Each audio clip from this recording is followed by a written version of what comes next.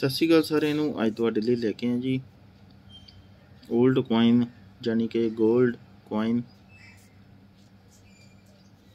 Metal 골ਡ ਵਜਨ 11.66 gram size 26 mm ਜੋ ਇਸ ਦਾ ਸਾਈਜ਼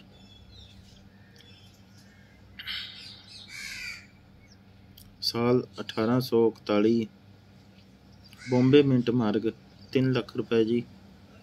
ਕਲਕੱਤਾ ਮਿੰਟ 3 ਲੱਖ ਰੁਪਏ ਤੇ ਮਦਰਾਸ 4 ਲੱਖ ਰੁਪਏ ਜੀ।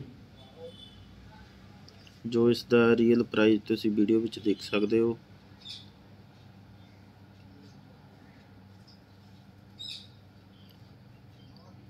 ਘਰ ਬੈਠੇ ਹੀ ਨੋਟ ਔਰ ਸਿੱਕਿਆਂ ਦੀ ਜਾਣਕਾਰੀ ਪ੍ਰਾਪਤ ਕਰੋ।